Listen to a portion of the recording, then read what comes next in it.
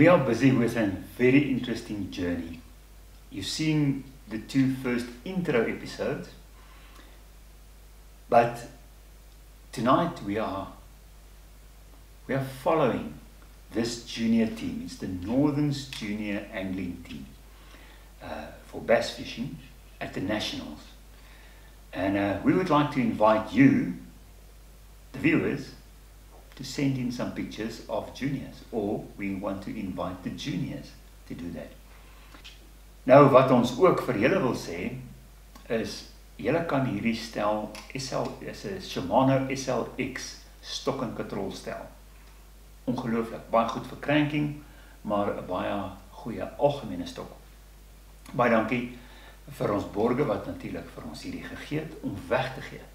Nou in die in die hele volgende reeks gaan ons uh, vir julle die geleentheid gee om elke keer vir ons foto's te stuur van julle as juniors. Nou dit is tot en met 18 jaar oud met 'n pragtige swart baars vangs. Al wat jy moet doen is om uh, jou foto, naam en van jou baars se gewig of hoe jy hom gevang het te stuur na hierdie nommer wat nou op die skerm verskyn. Dit is ons Four Anglers WhatsApp nommer. En aan die einde van hierdie reeks trek ons 'n wenner. Miskien trek ons nog 'n paar wenners intussen.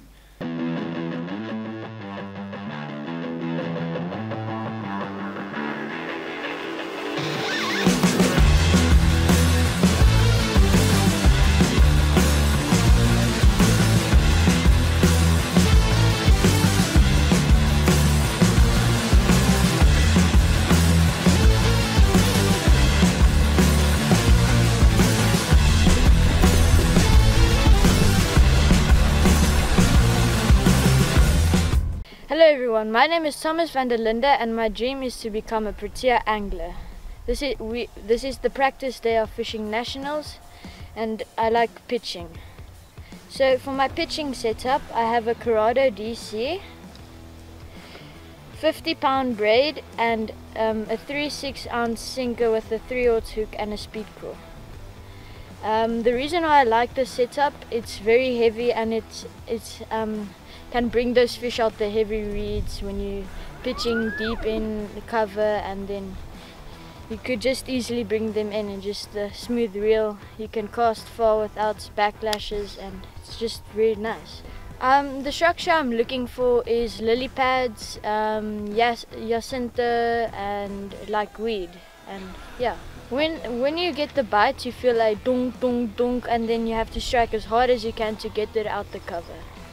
What I expect from tomorrow is hopefully the the fishing will be good and um, because of the weather and the rain that has come in, I'm gonna throw some top water early morning, catch a few bag, bag and then I'm gonna go look for some big kickers.